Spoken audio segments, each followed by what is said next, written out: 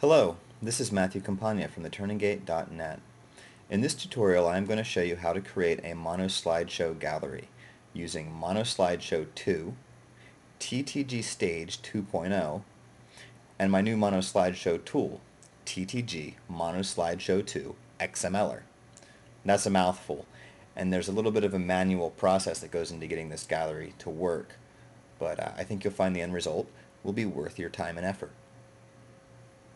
We're going to begin in TTG Stage 2.0.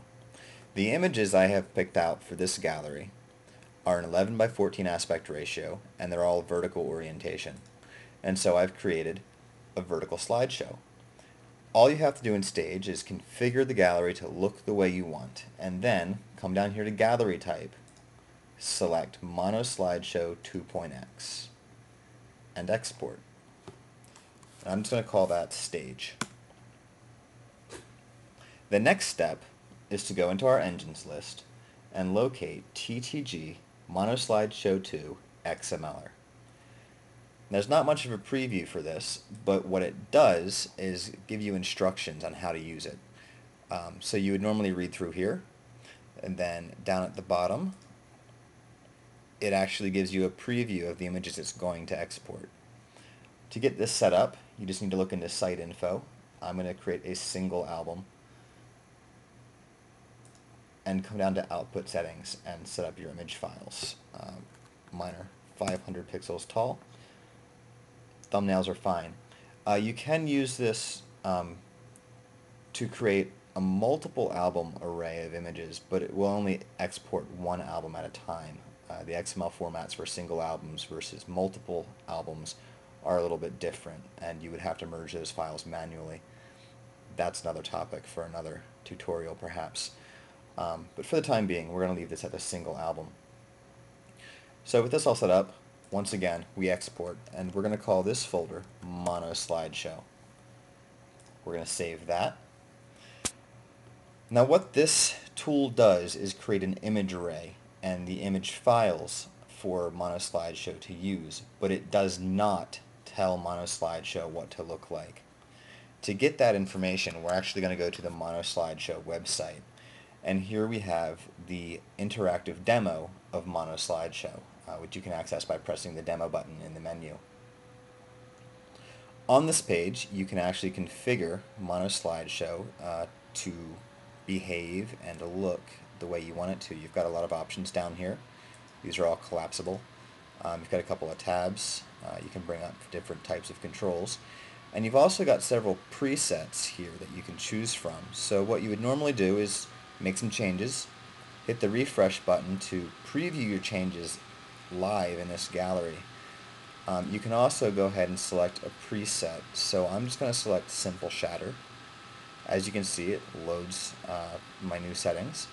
And then I'm going to press the Get XML button, and it lets me save this XML file.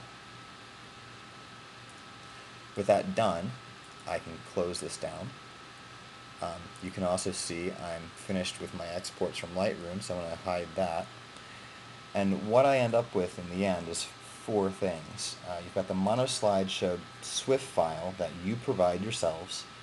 Then we have the folder that we created using TTG Stage, uh, the folder that we created using TTG Mono Slideshow 2 XMLer, and we have this monoslideshow.xml file that we've just downloaded from the website. Um, what we're going to do first is take the SWF file and put it inside the Mono Slideshow folder. Then we're going to move the Mono Slideshow folder inside the Stage folder. I'm going to open that up so that I can get it this file, monoslideshow.xml. Now this file has the same name as this one on my desktop, monoslideshow.xml, but they're different. The one that I created from Lightroom has my image array, while the one I got from the website has my configuration array, which tells the gallery what to look like. So I need to bring these two files together into a single file that my gallery can use. To do that, I'm going to open my image array in a text editor. I'm also going to open my configuration array in a text editor. Now if we look at these files, uh, I'm looking at the image array, here it is, you'll see these two tags, configuration and then close configuration, and they're empty. There's nothing between them. If we go to our configuration array, we locate the same tags. Here's the beginning configuration. Then we have all the stuff in between, and there's the ending configuration tag. I want to copy all of this and paste it here to replace these empty configuration tags. So now I've got my configuration array and my image array in a single file. I'm going to save that, close both of these, and I can now go ahead and delete this uh, configuration array that's on my desktop because I have that information in my XML file in my gallery. And we're ready to go. So we launch the index.html file, and there's our Mono Slideshow 2 gallery. I hope you find this tutorial helpful.